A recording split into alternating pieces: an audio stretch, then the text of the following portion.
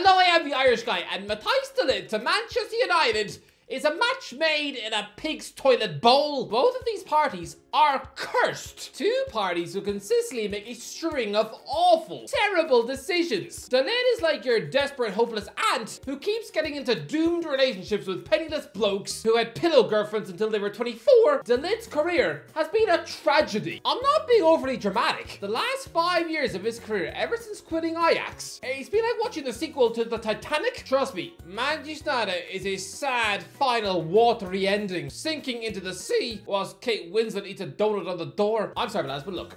Five years ago, this young man was a superstar. De Ligt had just helped Ajax come within a beaver's nose hair of reaching the actual Champions League final. He was the youngest ever captain of Ajax history. And if if Lucas Moura had not morphed into Superman, being possessed by the ghost of Gareth Bale to score a stupendous once-in-a-lifetime hat-trick for Spurs, then this Dutch child would have lined out in the final against Liverpool. A Champions League final between Jurgen Klopp and Erik ten Hag. Yeah, when those two did face off against each other a few years later, 7-0. Oh, uh, ouch. But yeah, De Ligt was a rock star. Literally, the most in-demand footballer in the world in 2019. The clamor for his signature, I've never seen anything like it. And definitely not for a centre-back it was freakish. Suddenly, you had European giants across the world. These desperate chairmen would have probably eaten their own dog in a quiche to get this boy wonder unveiled at their club. Honestly, it was kind of sad. Like watching a bunch of comic book geeks pulling each other's hair and kneeling each other in the groin, fighting over who gets to sit beside the only girl in chess club. Look, people look at it and say that he looks like an arrogant mophead. But can you blame him? At 19 years of age, he was being offered £340,000 a week to play in France at PSG. The guy at Barcelona desperately wanting him, even making a last-ditch attempt to steal him away from his Juventus medical, which, again, uh, height of desperation. It's a bit like in awful rom-coms. Some sweaty chump running through the airport to try and win back his love, and sh she's instead sharing an ice cream with some six-foot Gucci model. I don't care if he is arrogant. Can you blame him? A teenage boy being offered insane amounts of money. He was the Justin Bieber of European football. To suddenly be exposed to such sickening wealth, I don't blame him for believing that his own poo smells of daffodils. I actually remember at the time thinking that it was nuts for turning down Barca. I mean, they had just won the Liga with ease, had reached the Champions League semi-final. I did not think that within months they'd be letting Bayern Munich score eight goals against them in one match. I did not think they would embark on a financial meltdown, leading to the expulsion of the greatest footballer of all time. Oh, I can only imagine the absolute state of Barcelona. If they had added another monster wage burden like De Ligt to their bank, within 12 months, they'd be in so much debt. The players would probably have to eat each other for lunch, like starving people stranded on an island after a plane crash. To be fair, I bet eating Sergio Busquets would be like chewing on a bony salad. At least Arturo Vidal would be in a proper meaty meal, like tucking into a wild pig,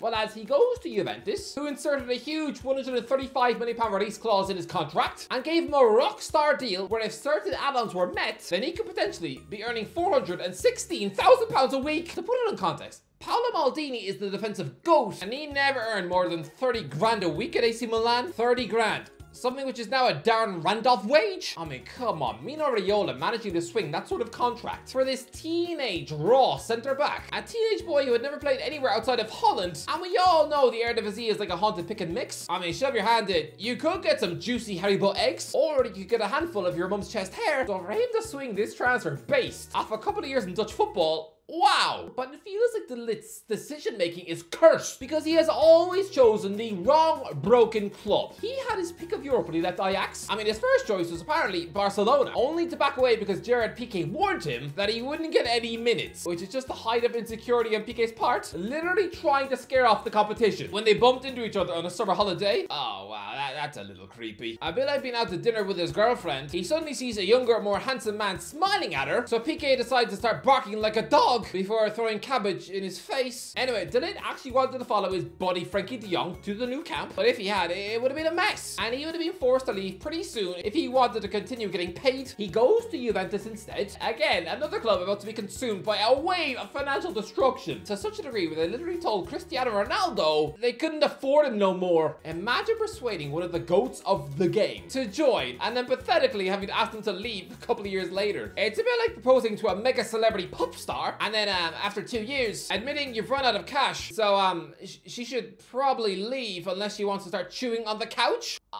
honestly, why do I get the feeling that's Oxlade Chamberlain's predicament right now? Ligt joined a Juventus team who had won eight titles on the trot. He helps them win the title in his debut season, although it was a drop off of seven points from the previous title win, and their 83 points was actually was actually their lowest points total since they finished seventh in 2011. In his next two seasons, they finished an embarrassing fourth twice in a row. He goes to Bayern Munich again, a club who had just lifted 10 Bundesliga titles in a row. So in his debut season, they win it, yes. But with just 71 points, they squeaked the title on goal difference, owing everything to a Borussia Dortmund bottle job. And then in his second season, again, like in Italy, they somehow don't win the league, slipping to third. Either he chooses clubs terribly, or he is contributing to their collapse. Wolfie apparently wanted to become Todd Boehly's first signing at Chelsea. Really? He even saw potential in the Boehly era? Is this man's judgment of situations that terrible? I mean, give him Simon Cowell's job, and he'd probably create a boy band of five Steve Cooper lookalikes and expect them to sell. Manchester United are signing someone who has failed at every club since leaving Ajax. He has not improved either team. Both sides have gotten drastically worse. Wasn't he supposed to be the best young defender in the world? And yet in April, for a couple of games there, he was being kept out of the Bayern Munich team by Eric Dier. What is going on? De Ligt is a fine defender, yes, but he's not Rafael Varane, somebody who is a colossal, legitimately world-class rock star of a centre-back. Come on, when he joined Manchester United, he was off the back of 360 games for Real Madrid, three La Liga titles, four Champions Leagues. It was just three years after he lifted the actual World Cup. His stock in 2021 was far greater than De Ligt's now. When he joined Manchester United, he was arguably in the top two best defenders in the world, and at just 28 years of age. Yeah, his Manchester United career was such an underwhelming, forgettable trilogy of anonymous seasons that he's now quit the club on a free, and nobody cares. Just like when Paul Pogba finally quit. And last I heard, Varane, at 31, was locked in talks with Dennis Wise about joining newly promoted Como, which thinks of Rio Ferdinand getting a pathetic grubby job at QPR. Manchester United destroyed Varane's stock because he's a free agent, available for less than the price of a twirl, and nobody really wants him. Lads, De Ligt someone who was voted the best young player in the world five years ago. He doesn't even start for the Netherlands. He was given the Dutch's opening game at the last World Cup against Senegal, but then rotted on the bench for the rest of that tournament, bar one minute against the USA, and he hasn't played a minute at the Euros. He hasn't started five games in a row for Holland since 2019. And lads, between 2017 and 2019, during the hype years of his career, this man started 21 games in a row for his national team. But over the last five years, his best run was four in 2021 against Turkey, Latvia, Gibraltar, and Scotland. He started six of Holland's last 25 games, going from 21 in a row to that. See what I mean? MDL has lost his Dutch spot, and De Ligt and Man United just seem like such a horrendous match because we have established that De Ligt is a mammoth name who makes no real impact at European giants. In fact, he makes them worse. And Manchester United are the club who, when they get their hands on somebody with world-class stock, they manage to reduce their hype to being a puddle of goo. I mean, here is a handful of exciting world-class names they have signed since Sir Alex Ferguson quit. Angel Di Maria, comfortably one of the best players in the world at Real Madrid. He just lit up the Champions League final he then goes to Man United and has the end product of milk and quickly flees to PSG. He's lucky he didn't pull a Varane and stay in Manchester for three seasons. Otherwise, he wouldn't be getting offered bags of money at PSG. Now, had been flogged to the MLS at 30. When Manchester United signed Radamel Falcao, I probably choked on a worm. This is somebody who had scored 70 goals in 91 games for Atletico Madrid. Just two years earlier, he had blown European champions Chelsea off the pitch, scoring a first half hat-trick in the UEFA Super Cup. He was the best centre forward in the world. The Colombian reincarnation of Adriano. He goes to Old Trafford on loan, and I'm thinking,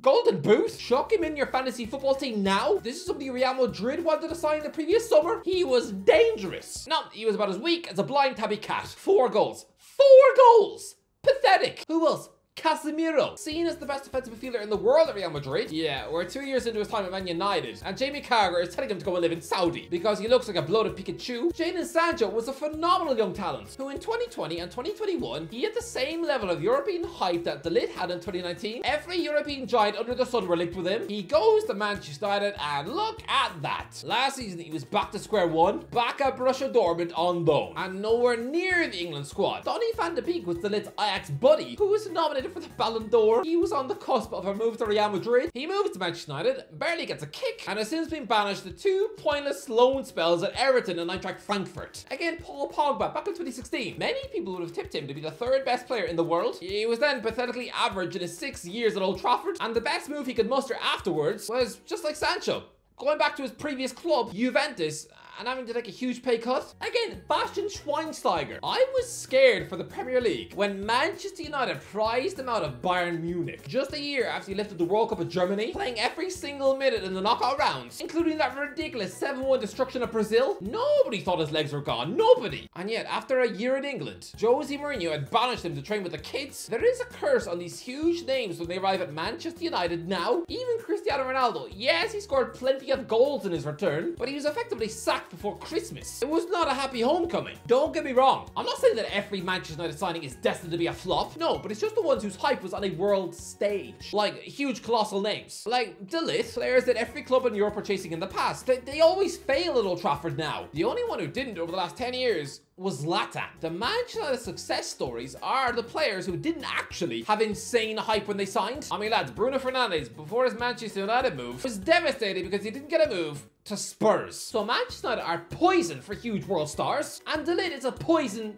for European giants. So these two stay away from each other. They are a bad match. If this was a speed dating event, these two would be the desperate broken people with so much baggage, a catalogue of failed relationships, with them being the common denominator. Yeah, please don't get these two crazy weirdos in a room together sharing a pie. They're more likely to headbutt each other than kiss. I can smell the whiff of a De Ligt fail, which is a massive shame because he should work. But you've been burnt so many times before. He is going to be another Varane. And when he's chewed up and spat out by this club, failing to live up to the hype wages. People are just to call him the Dutch Phil Jones. I can smell it.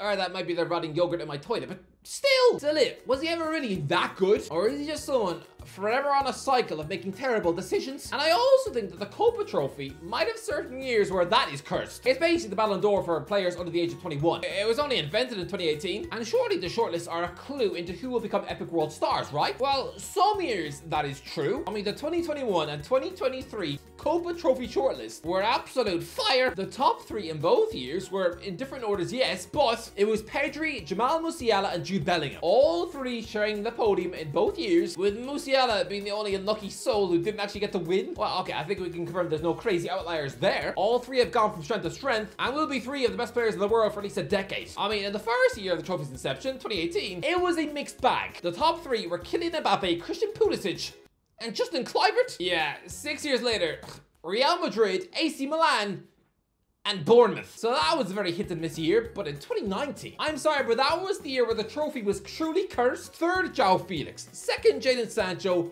First, Matthijs de Ligt. Not a single one of those players have lived up to the potential they had in 2019.